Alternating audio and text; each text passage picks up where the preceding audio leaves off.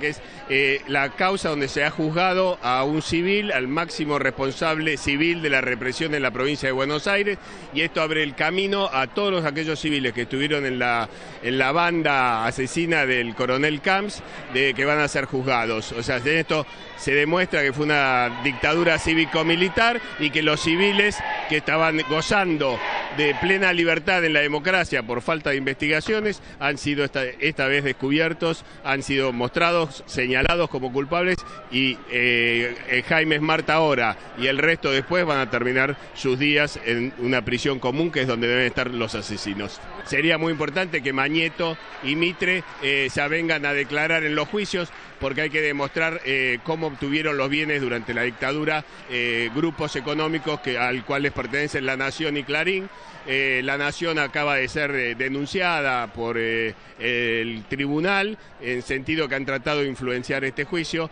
y realmente es, una, es una satisfacción ver cómo hoy se denuncia a, estos, a, los poderosos de, de otrora y se condena de esta manera y se hace justicia y creo que la gente está contenta por eso. El reclamo nuestro es de juzgar a los civiles, a todos a Martínez de Osa, Klein, a Aleman y a todos esos que robaron y a los que fueron responsables de la desaparición de miles de personas. Ya se está también incriminando a los que tienen industrias y han entregado a sus obreros. Ahora este, que era funcionario y era parte de una historia de represión, muerte y tortura. O sea que nos parece bien empezar y este es el punto inicial para que suceda con otros juicios en adelante. Hace siete años cuando la asociación planteó de que había que ir por genocidio, nos decían que estábamos locos, que eso no se podía, que eso no se iba a lograr, y lo planteamos en absoluta soledad y logramos que se reconociera. Hoy, cuando el fallo aclara